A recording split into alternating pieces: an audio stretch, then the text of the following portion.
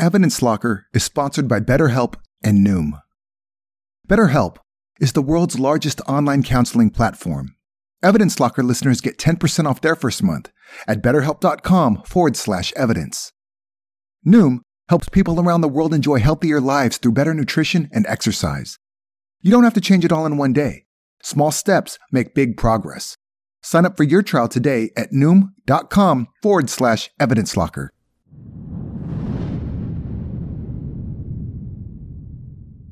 You are listening to The Evidence Locker. Thank you for choosing our podcast. Our sponsors make it possible for us to keep bringing you new episodes. Please support them as they have some great deals just for you, our listeners.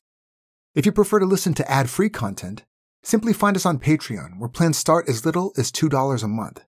25% of these proceeds are donated to the Doe Network, working to bring closure to international cold cases. For more information, follow the link in the show notes. Our cases deal with true crimes and real people. Some parts are graphic in nature, and listener discretion is advised. Each episode is produced with the utmost respect to the victims, their families, and loved ones. It was a cold January night when a hooded figure emerged from the woods and walked through the snow towards a family home in the small village in Sweden. Upstairs, the 23 year old wife of a local pastor, Alexandra Fossmo, was asleep when the assailant entered her bedroom and fired three fatal shots. Moments later, her 30 year old employer and neighbor, Daniel Linde, was awoken by the sound of his doorbell ringing. He looked at the time and saw that it was just after 4:30 a.m. Confused, he made his way to the front door and opened it, just to be shot in the face and chest. Unlike Alexandra, Daniel survived the shooting and managed to call for help. The investigation that followed uncovered a dark world of skewed religious views, infidelity, murder, and intrigue. All of these elements might make a good crime novel. But in the end, truth will always be stranger than fiction.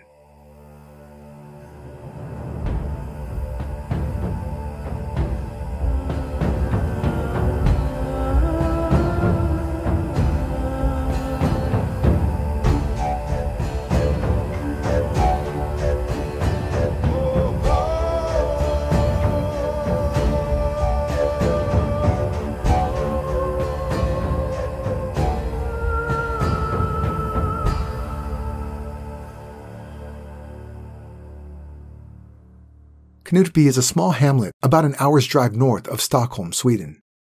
It's home to just over 500 people, mainly young families who have an appreciation for pastoral values of the country life. In 2004, one of the most beloved pastors of the local Pentecostal church was 30 year old Helge Arnold Fossmo. Helge was born on the 27th of July, 1971, in Kristinehamn, Sweden. His Norwegian parents weren't particularly religious, but the young Helge found his way to Christianity through a local scout group. As a born again Christian, he devoted all of his free time to church related activities. When he was 17, he volunteered at a Christian youth cafe where he met Helene Johansson, who would one day become his wife.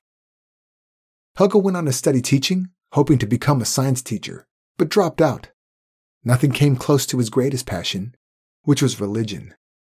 So instead of following a traditional career path, he became involved in Christian organizations like Word of Faith. In the mid 90s, he was employed as a youth pastor at the church where Helene was a member, the Pentecostal Church of Kristinehamn. A Christian newspaper once reported about Helge's ability to speak in tongues. He was a fervent young believer who garnered the attention from everyone in the congregation and beyond. It was through church connections that Helge met Waldau, a passionate member of the Pentecostal Church at Knutby. In 1997, Helge, Helene, and their two young children moved to the small town, where he would serve as a pastor. He was a fun loving, energetic evangelist with a great sense of humor and settled in without any trouble. Some might say that at the time the town of Knutby was almost indistinguishable from the parish of the Pentecostal Church, Knutby, Filadelfia. And one can also say that Helge's life was indistinguishable from his calling as a pastor. The Fossmo's third child was born in Knutby, and Helene found herself alone a lot. Helge was spending all of his time with Åsa Waldau, training and recruiting new members of their congregation. He started a charity foundation and Bible schools abroad in locations like India and Hong Kong. There was no stopping this dynamic young duo working for God. Like Asa, Helge saw himself as an expert when it came to interpreting Scripture. In reading Psalm 45 regarding the bride of Christ, Helge believed that God was communicating a message to him, that the bride of Christ was in fact Asa Waldau. Helge vowed to do everything in his power to protect the Lord's betrothed until such a time that they were united. In March 1999, during a private ceremony between Asa and God, and Helge as the only witness, she accepted a self purchased gold ring with seven diamonds. From that day forward, she was to be revered as the closest living being to God on earth. Helge later claimed that Asa forced him, as her right hand man, to channel her godly husband and satisfy her sexually using his hands. Asa denied this ever happened. But whatever happened behind church doors, Helge and Helene's marriage was taking a lot of strain. Helene begged her husband to spend more time at home with his family, but the more she asked of him, the more he retreated into his work. Sadly, before things between them could be resolved, Helene died in a tragic accident. She slipped in the bathroom, hit her head on the bathtub's tap, causing a fatal injury. Helge mourned for his wife and was suddenly a young, single father of three with an all consuming job. Fortunately, he had the support of his church community, and while the women of the parish stepped in to help with the children, Helge could continue his work in service of the church. We'll take a quick ad break for a word from Evidence Locker sponsor, BetterHelp. We all know that life can be overwhelming at times. Many people are burned out without even knowing it.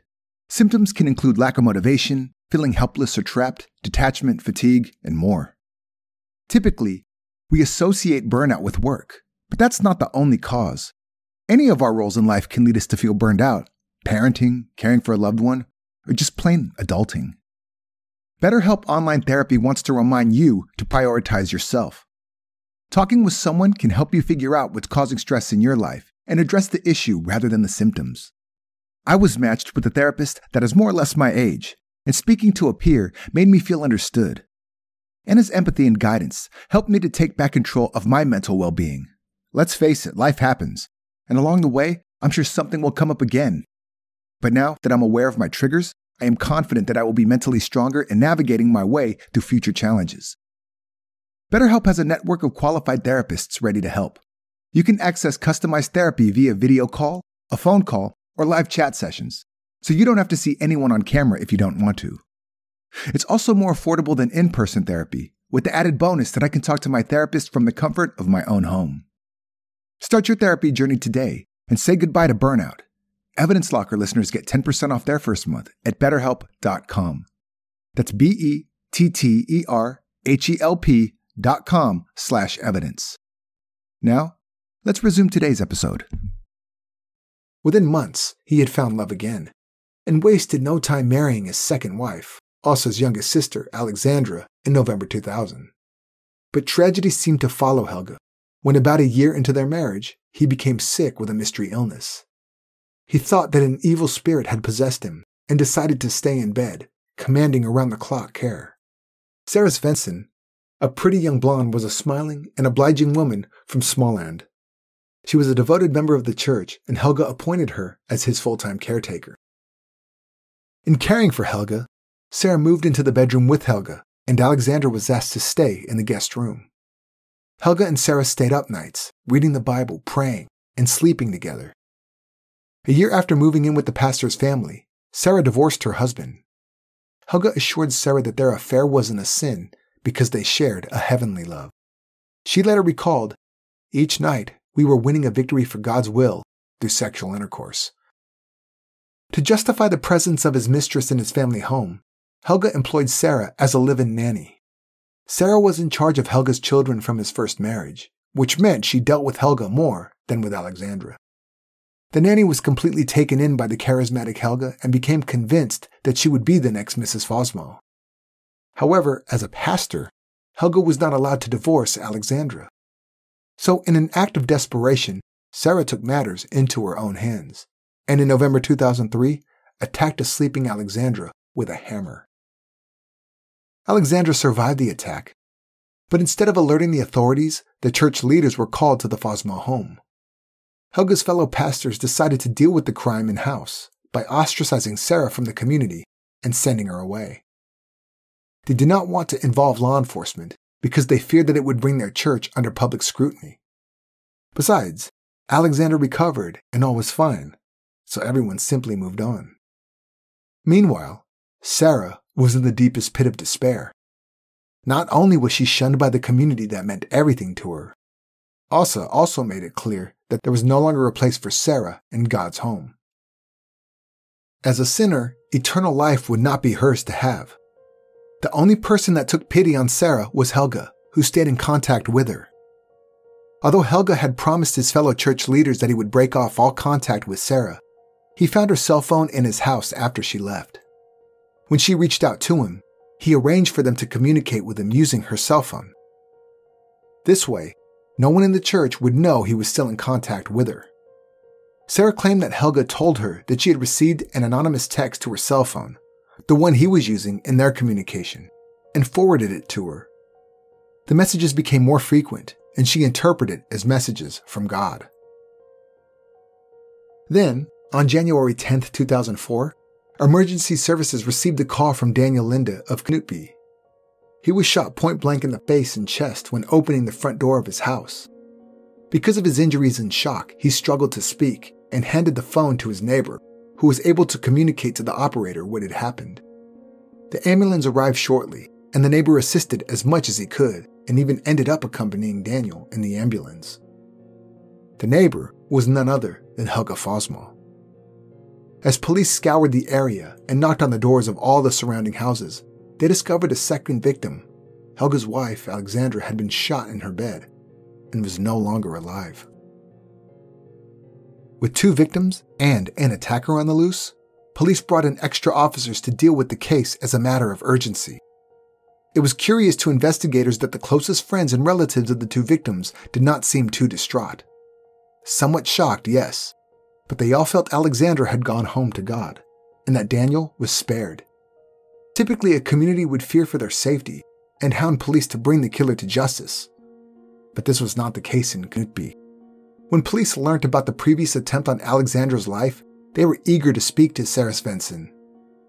But they did not have to look for her as she turned herself in two days after the shootings. Sarah confessed to the murder and attempted murder. She also confirmed the accusation that she had attacked Alexandra with a hammer in the fall of 2003. She explained to the police that she was acting on orders she received from an anonymous source via SMS. After being shunned by the community, she believed that the texts were prophecy, and that by completing the set tasks given to her, her position in Knutby and ultimately in heaven would be restored. The messages, Sarah believed, came from God through Helge Fossmo. She described to police how she had purchased a firearm, made a muffler to serve as a silencer, and practiced shooting. According to Sarah, she parked in the woods outside Knutby and walked to the Fossmo home. After the shootings, she went back the way she came. She insisted that she acted alone and that no one helped her.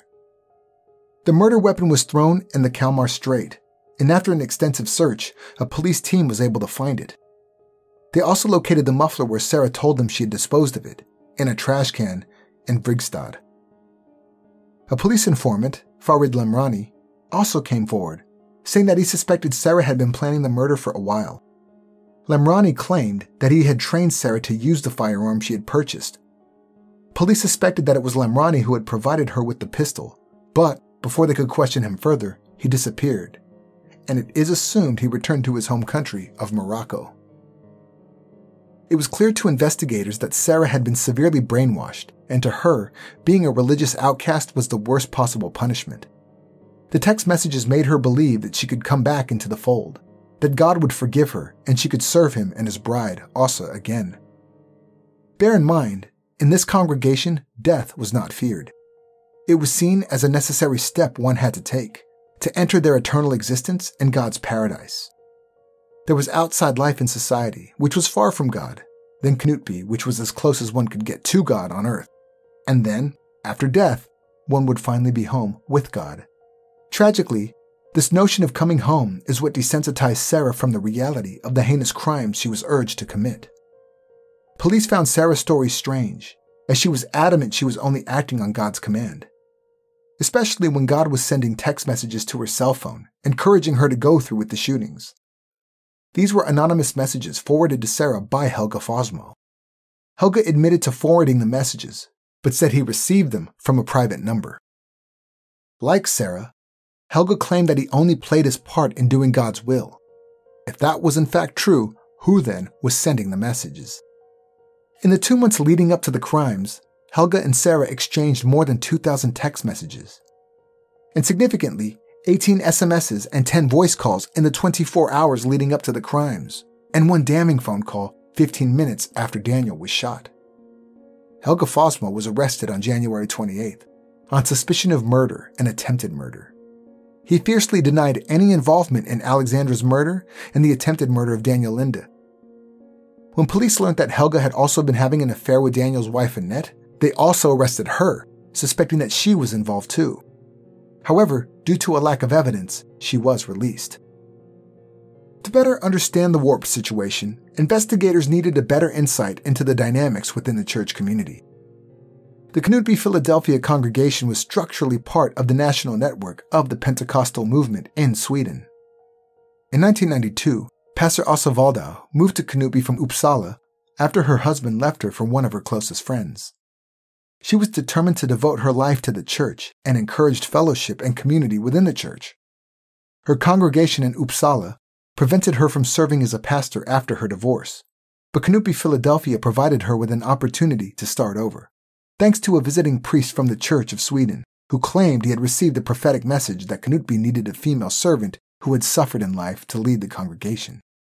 And so, she became reinstated and one of the most powerful figures in Knutby. Helge Fossmo, was one of seven pastoral leaders. The small congregation only had 60 members, so the structure was perhaps a bit top heavy. Åsa and Helge ran a month long Bible school in Knutby every year, and more often than not, people who attended ended up staying in Knutby for good. Members had to give 10% of their earnings to the church, ruled by the Bride of Christ, 36 year old pastor Åsa Waldau. In Judaism, the Bride of Christ is a term that refers to the people of Israel. In Christianity, the term refers to the congregation or church as a whole. Åsa Waldau would later deny that she was ever called the Bride of Christ but people who have left the congregation of Knutby claim that she is lying. Everything within that church centered around Åsa to protect her until the second coming, when she would finally unite with her betrothed, Jesus Christ. After the shocking crimes of January 2004, the National Pentecostal Movement expelled Knutby Filadelfia because their beliefs were deemed unorthodox. Let's take a quick break for a word from our sponsors. Now, you all have heard me raving about Noom, and if you haven't checked it out yet, do yourself a favor. All you've got to lose is, well, a couple of pounds and some inches, I suppose. Before Noom, my eating habits were all over the show. Some days I got so distracted and busy, I forgot to eat at all. And then came nighttime, and oh boy, did I make up for it with huge portions of whatever topped with a dessert because, you know, I had that poor me, I didn't eat all day voice in my head. But thankfully, Noom helped me to transition away from my questionable diet and become more mindful about eating. By that, I mean I think twice before choosing foods to eat. Logging my food forces me to take a moment to consider what I'm eating and not simply go for whatever is in the fridge. Logging what I want to eat for the day ahead works great for me. This way, I know that if I stick to it, I can go on autopilot, still enjoy my food and not feel guilty, because I know my choices are all within my allocated calorie range. I've changed my understanding of what is good or bad for me, thanks to Noom's guidance. And swapping out foods means I can still feed my sweet tooth if I need to. If I have an off day, it's also okay. It won't set me off course, because Noom gently helps me to get back on track. With Noom's psychology based approach, I understand my mind and body better. We all want to continue being healthy, right? And that's why Noom works. It's not a fad, it's not a resolution that won't last. It guides you to change your lifestyle by taking control of eating habits that no longer serve you.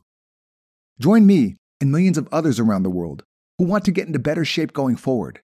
Sign up for your trial and get psychology-based support to lose the weight for good at noom.com slash evidence locker. That's N-O-O-M dot com slash evidence locker. Now, let's return to today's episode. During their investigation, police learned about another untimely death that had occurred in the Fossmo home five years before. Helge's 27 year old wife, Helene, was found dead in their bathroom after a nasty fall. It appeared as if she had collapsed forward into a bathtub, hitting her head on the tap, which caused a fatal head injury. In revisiting the incident, Helge told police that both he and Helene had a stomach bug on the day she died. They spent the day together in bed, and at one point, Helene got up to have a shower. Helge claimed he fell asleep. He woke up when a member of their congregation, Samuel Franker, arrived to check on them. Helge realized Helene was still in the bathroom. He went to check on her, but the bathroom door was locked. Samuel was with Helge and helped him to open the door. They found Helene face down in the tub and immediately called for an ambulance. Sadly, it was too late, and nothing could be done to save her. At the time, there was no investigation, seeming as it appeared to have been a tragic accident and nothing more. However, after Alexandra's murder, police reopened the case and found that Helene's head injury was not the cause of her death after all. She had a deadly amount of dextropropoxyphene, a drug acting like morphine, in her blood. It had been ingested between 30 minutes and 5 hours before her death. Because the drug was in her blood, but not her stomach, and there were no needle marks in her arms, she must have ingested it either vaginally or anally. With the autopsy report and statements confirming that Helge was the only person with Helene in the lead up to her death, he was charged with her murder. Everything came back to Helge. Although he was married to Alexandra, he was said to be God's chosen companion to the bride of Jesus, Asa. This meant he was a stand in for her celestial soulmate and was occasionally called upon to satisfy her sexual needs. At the same time, Helge was also having an affair with Sarah, his children's nanny, but ultimately, it was yet another woman whom he wanted more than anything his neighbor, Daniel Linde's wife, Annette. Incidentally, Annette's brother Patrick Waldau was married to Asa. Here is how Helge described what all the women in his life meant to him. I'll be quite frank. These women meant different things to me. Alexandra was like a good friend or sister, then a woman you share your life and your bed with. With Sarah, I knew somehow that it was only a matter of time before she would have to leave. There was something that everyone wanted to end because they didn't want her there. Sarah was, for the most part, a mistress, just for sexual pleasure. Annette was much more than that and this meant that Sarah was no longer as close in that way or as important anymore. Two months after Alexandra Fossmo's murder, her widower Helge was officially charged with murders of his first wife Helene, incitement to the attempted murder of his wife Alexandra in 2003, and incitement to her murder in 2004, as well as incitement to the attempted murder of his neighbor Daniel Linde. The crimes drew unprecedented media attention to the small town of Knutby, once perceived to be a wholesome, God fearing community, the uncomfortable truth emerged. It was likened to a sect, with blurred lines when it came to morality. The Bride of Christ, Asa Waldau, was running the show, and her unforgiving manipulation of members of the congregation was exposed. The public was shocked to learn the intricacies of the relationships within the church, and the media lapped it up, dubbing Helge and Sarah the pastor and the nanny. They wrote sensationalized articles with headlines like, She said she was the pastor's slave, and the nanny wanted to regain God's grace. The trial against Helge Fossmo and Sarah Svensson began on the 18th of May 2004 in Uppsala District Court. Addressing Helene's murder, the prosecution argued that Helge Fossmo drugged his first wife and when she was unconscious, struck her head against the tap in the bathtub to make it appear like a tragic accident. His involvement in the death of his second wife, Alexandra, and the attempted murder of his neighbor Daniel Linde was presented together with Sarah Svensson's case, as she had confessed to both crimes. In a tight knit, closed community like Knutby, going against one's fellow parishioners was unheard of. Yet many congregation members testified at the trial, providing context about the circumstances leading up to the night of the shootings. The prosecutor laid out the case as such on January 10, 2004, Alexandra Fossmo was asleep in her bed when Sarah Svensson came into the bedroom and shot her killing her instantly. Alexandra had received two of the shots to the head and one to the leg. Then Sarah walked to the house across the road and shot Daniel Linde. Prosecution reminded the court that a subsequent investigation revealed that Alexandra's husband Helge and Daniel's wife Annette had been entangled in an affair. In the time leading up to the shootings, there was a multitude of messages between Helge Fossmo and Sarah Svensson. In less than two months, they exchanged over 2,200 messages and calls, averaging at 44 per day. The last of the messages were exchanged at the time of the crime. Although the messages had been deleted, Sarah told police what was said between her and Helge. At the time of the investigation, police were unable to retrieve the deleted messages from Sarah's Nokia 3510. Remember, this was in 2004, before smartphones and cloud storage. However, they eventually managed to crack it by retrieving some texts from Sarah's SIM card, sent between December of 2003 and February 2004. The content of these messages confirmed what Sarah had said. It was clear that she believed the messages were from God, guiding her to do His will. She thought Helge was simply a messenger who had forwarded the texts. However, the SMSs proved that it was Helge Fossmo playing God who had incited the murder and attempted murder. Helge claimed he never wrote the messages, but only forwarded them to Sarah, also believing that he was acting according to God's will. A reconstruction video was viewed in court, showing Sarah Svensson calmly walking through the crime scene at the Fossmo house, describing step by step how she did it. When Sarah was called to the stand to testify, Helge was taken from the courtroom. He listened to her testimony from another room, but because of evidence of his influence over her, the court decided it would be better for her not to see him. The hope was that by removing Helge from the courtroom, Sarah would speak freely and truthfully. During her testimony, she recalled a conversation with Helge Fossmo sometime before killing his wife. This is a quote from her testimony. Suddenly, Helge said to me, If God were to tell you to kill a human being, would you do it? I thought it was a very strange question, but thought that if I really knew it was God saying it, I would have to obey. There would be no alternative. Sarah also said that Helge told her God wanted Alexandra with him in heaven. Many conversations on this topic and completing God's plan were held between the two. Her testimony of her movements that night tied in neatly with the reconstruction video. The biggest conclusion drawn from this was that Helge Fossmo must have heard the gunshots that killed his wife even though he claimed he never heard anything until there was a commotion at Daniel's house. Helge Fossmo's defense attorney admitted that Helge was the one who had forwarded the messages to Sarah, but also interjected with his own texts that were intended as guidance, and that Sarah Svensson had gone on to misinterpret them.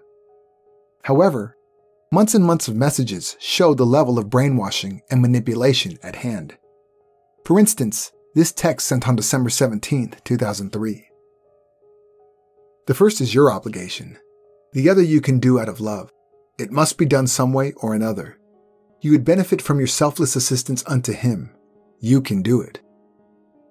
Four days before the crimes, a daily message containing scripture quotes was sent from Helge's cell phone to Sarah's.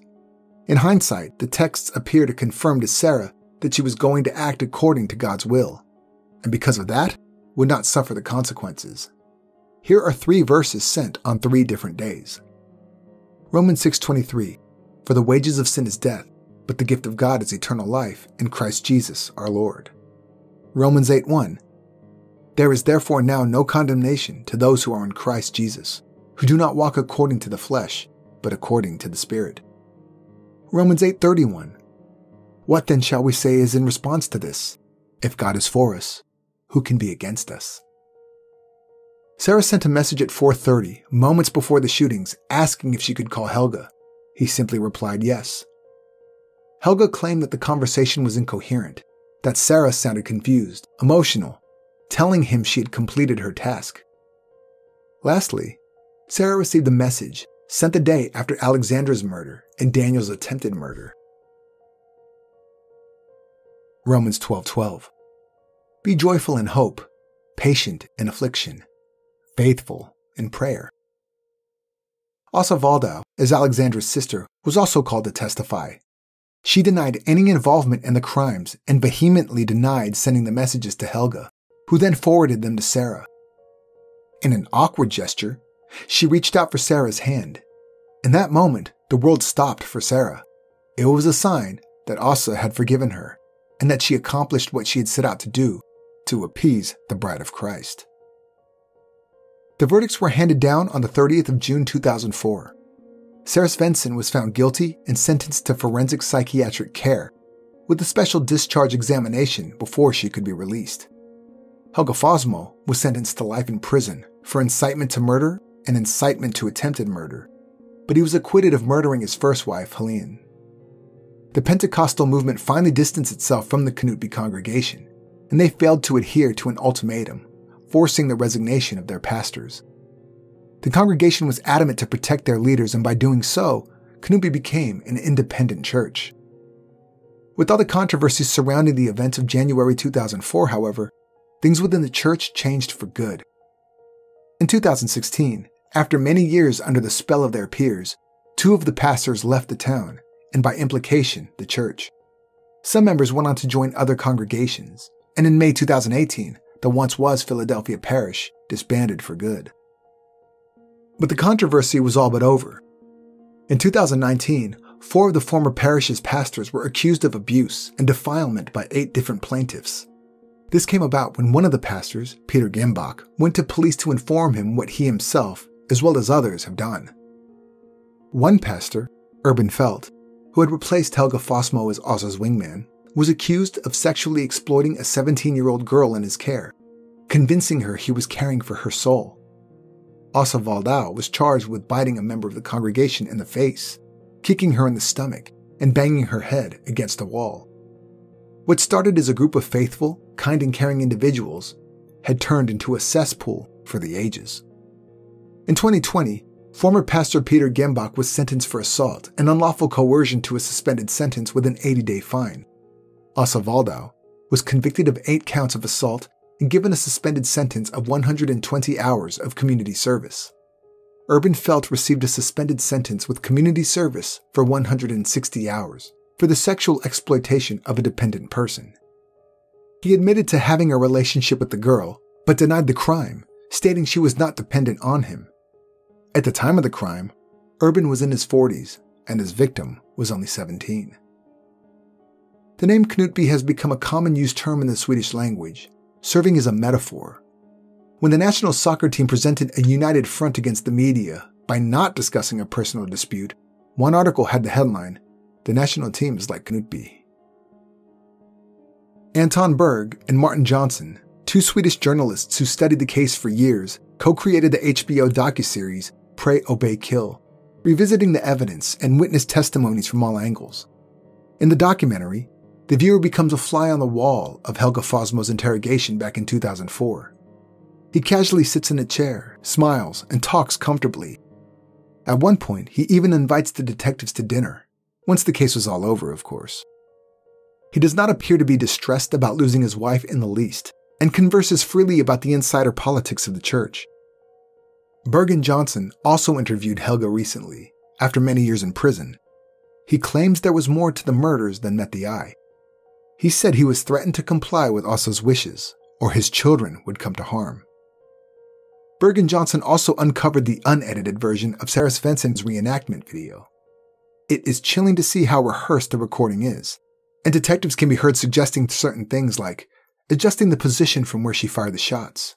Do it like we did during the dress rehearsal, proved that this was a production, not a police reenactment. Typically, a reenactment video is an opportunity for police to corroborate the victim's statement with their actions, and then go back and compare it to forensic analysis of the scene. However, this opportunity was lost, with Sarah doing what she was instructed to. And in fact, in the unedited version, there were many inconsistencies. For instance, the position next to the bed from where she claimed to have fired the shots does not link up with the evidence. The bullet wounds on Alexandra's skull were inflicted at close range. On the video, Sarah stands several feet away. She's adamant that she could not get any closer because she was terrified of waking Alexandra. This discrepancy was never revealed during the trial. Had the court known about this, perhaps they would have reached a different verdict. Another point of contention was Sarah's account of arriving and leaving the scene.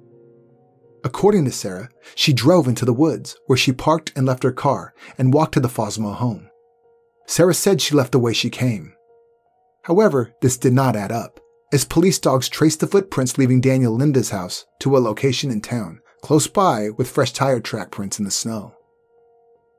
Was someone waiting in a car, ready to drive her away after the shootings? Did someone else move Sarah's car from the woods? If so, who was it? Helge was with Daniel. Could this have been Åsa?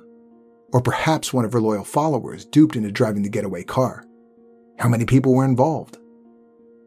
In 2006, Helge Fossmo admitted to his role in his wife's death and the attack on Daniel Linde for the first time in a televised interview. However, he hinted at the fact that there was someone else pulling the strings. In a subsequent interview, he named this person to be none other than the Bride of Christ, Åsa Waldau. He claimed that a linguistic examination of the anonymous texts he forwarded to Sarah proves that it was written by the same person who wrote the Tirzah prophecy. Tirzah, which was the name Åsa chose after learning that she was the bride of Christ. All members of the congregation addressed her using this name. The prophecy was a 14 page Microsoft Word document that reads like a letter from Jesus to his Tirzah. Åsa Waldau and her supporters struck back, insisting that she had nothing to do with the crimes and that it was, in fact, Helge Fossmo who had written the Tirzah prophecy. After the crimes, Åsa became somewhat of a celebrity in Sweden. She did countless TV and radio interviews, proudly explaining what being the bride of Christ entailed. But the media pressure became too much and she was often ridiculed. Today, Åsa Waldau is no longer a pastor and lives a life of seclusion. Her husband Patrick left her to be with the woman she assigned for him while she was coveting her betrothed. In Pray Obey Kill, journalists Anton Berg and Martin Johnson interview Sarah Svensson, her first media interview since the shootings in 2004. Sarah claims that the night of the shooting still haunts her. Mostly the fact that when she fired the first shot into Alexandra's leg, she didn't move. Here is Sarah's account. I've thought a lot about how it was, the first shot, which hit Alexandra in the hip. There was nothing. There was no response. How can that be? I didn't understand. At the time, I thought it was because of me, because of something I did. But now, I don't know. Maybe she wasn't alive when I got there. Which begs to question Was Alexandra already dead by the time Sarah shot her? Was Sarah manipulated to shoot an already deceased Alexandra, knowing that she was the ideal fall person? Did the actual killer or killers do the unthinkable, and in the end, get away with murder?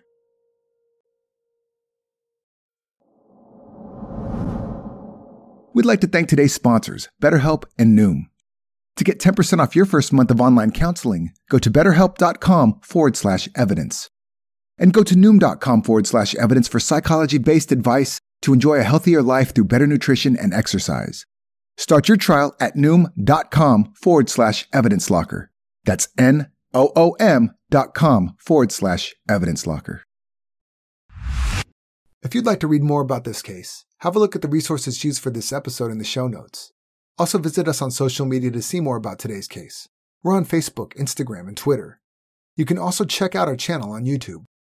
If you like what we do here at Evidence Locker, subscribe in Apple Podcast or wherever you are listening right now, and kindly leave a five-star review. This was the Evidence Locker. Thank you for listening.